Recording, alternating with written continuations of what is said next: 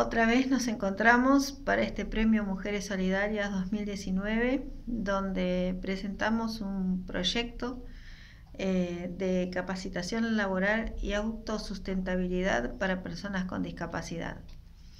¿De qué consta? Consta de un programa donde se les va a enseñar a teletrabajar y técnicas de reciclaje. Es un programa dictado por profesionales de la salud mental, eh, psicólogos, terapistas ocupacionales, eh, arteterapeutas.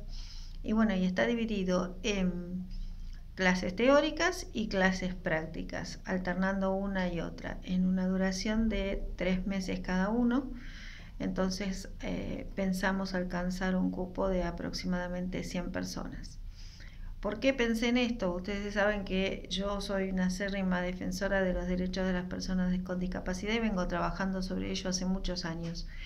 Eh, hoy día eh, no solamente las personas con discapacidad con sus pensiones no contributivas o con sus pensiones por discapacidad eh, tan bajas como la que se están otorgando, sino que hay gente que tampoco tiene un ingreso eh, para tener una vida digna.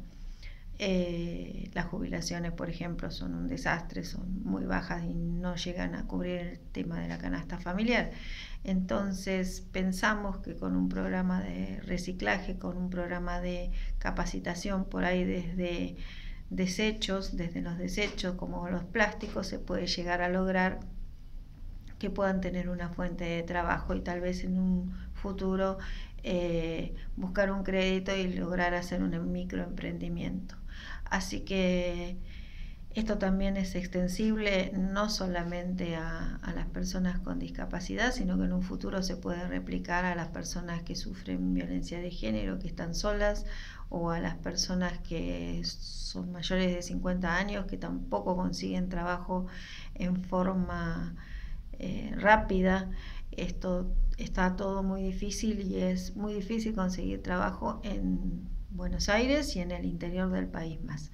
Así que bueno, nosotros pretendemos que con este programa podamos ayudar por lo menos a 100 personas, que es el cupo que tenemos para, para este programa de capacitación laboral, y poder aportar eh, nuestro granito de arena para que mejoren su calidad de vida. Y además, obviamente que esto eh, también acompañan los objetivos de desarrollo sostenible, que son el fin de la pobreza, la salud y bienestar, igualdad de género, trabajo decente y crecimiento económico, reducción de las desigualdades y producción y consumo responsable. Así que esperamos que esto sea de su agrado, su evaluación y bueno, quedamos a disposición de ustedes para cualquier tipo de consulta. Muchas gracias.